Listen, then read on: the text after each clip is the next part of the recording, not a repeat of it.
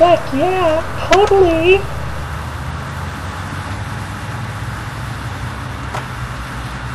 Sal? Is that you? Vincent, how are you? I was around, came to see you. So Vin, you the boss of this betting racket? Unbelievable, I never knew you'd be in charge of a racket. So yeah, Carcer has been great.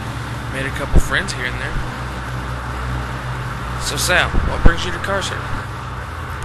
Came just to see me? Actually, I came here for business. I was coming to see if you were available. To me, it looks like you're already busy. I must leave you now, Vincent. I want you to take care. Don't get into any trouble.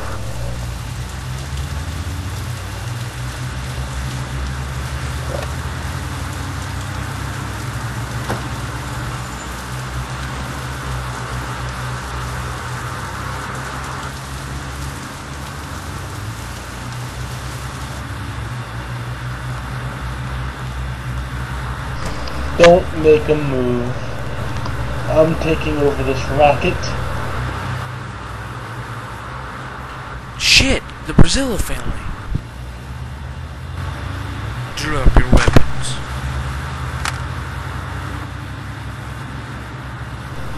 Please, don't hurt me. Don't hurt me. I've had enough. I can't let you do this. I warned you, asshole. Shit. Oh, Angelo, no.